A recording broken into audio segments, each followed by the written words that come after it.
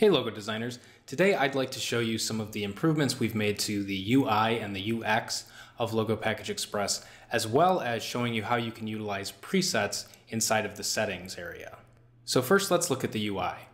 The first thing to notice is that all of the primary action buttons have been moved to the bottom, and the most important action for any particular screen is now colored blue.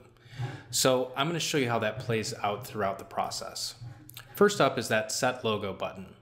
But beyond this, what we're doing is we're taking a look at whether or not you have brought in a logo file that was in CMYK document color mode or RGB document color mode. And depending on which color format you've brought in, we will highlight the type of logo you should probably make first for your logo package. So because we brought in a CMYK color document, we are recommending that you make your print logos first, and therefore that button is colored blue. So let's make these print logos. All right, awesome. Now, many times, I'm sure you have created your logos only to realize that there was some setting that you wanted to change. So if we go to settings, what we will see now is that in addition to just having the make logo buttons, we are also carrying over that export button from the previous screen. In the old version of Logo Package Express, you would have had to have gone back to the export screen and clicked export print logos. What happened fairly commonly is that people would make lots of updates to the logos that were generated and then go into settings and accidentally click the make button again instead of pressing the export when they were actually ready to export and they would lose all of the changes that they had made. So we've added this third button to the settings screen when you are ready to export. And since we're looking at settings, why don't we check out the new presets inside of Logo Package Express.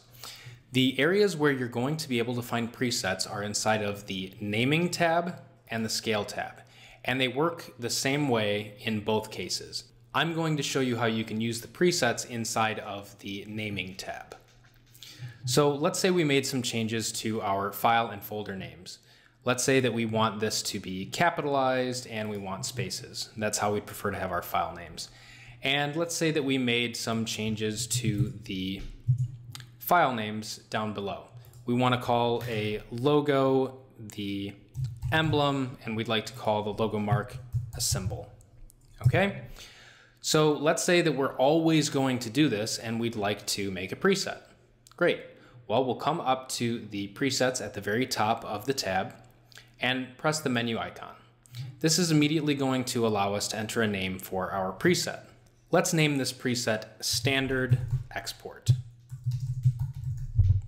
and click Save. Now let's say somewhere down the road you decide that you would actually prefer to have your exports be lowercase and with dashes for the file names. You've made these changes, but you still want to save this as your standard export preset. All you need to do is come back to the menu icon and click Update Current Preset. And now that we've updated the preset, the name is the same, it's just that these changes that we have made to the preset will now be remembered. So for demonstration purposes, I'm going to change this to capitalize. And when I go to the menu option, I can click on Reset Current Preset to get back to the preset's default settings. You see that the button has changed from capitalize back to lowercase, which was our original setting. You can save as many presets as you would like. Let's say that I have a new preset where I call the tagline a strapline. And I go to add new preset and I change this to alternate export. I will save that. Now when you click the drop down, you'll have access to the new preset that you just created. Let's say that you start to get a long list of presets and it's becoming a little bit unwieldy and you'd like to manage them. Well, you can do that as well. Come to the menu item, go to Manage Presets, and you can select whichever presets that you would like to delete. So I'm going to delete this alternate export that we just created. And now when we go back to the dropdown, there's only one option available. So this is how you work with presets inside of Logo Package Express. Thanks.